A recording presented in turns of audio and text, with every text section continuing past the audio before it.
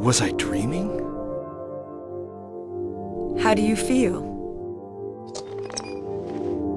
Oh, like I've been run over by a truck. But I'm alright, I guess. Glad to hear it.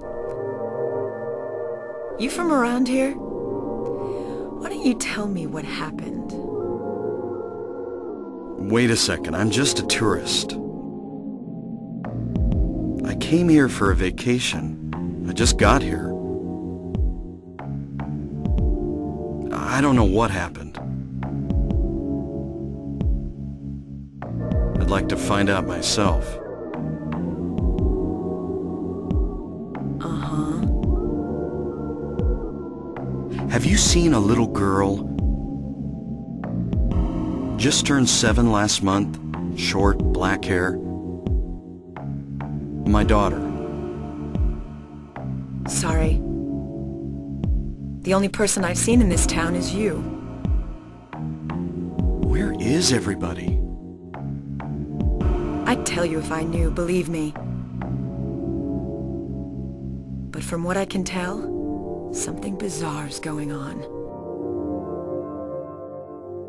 That's all I know. Hmm. What's your name? Harry. Harry Mason. Cybil Bennett. I'm a police officer from Brahms, the next town over. The phones are all dead, and the radio too. I'm going back to call in some reinforcements. Hmm.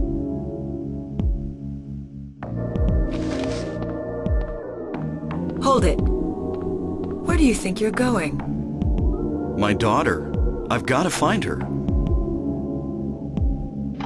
No way. It's dangerous out there.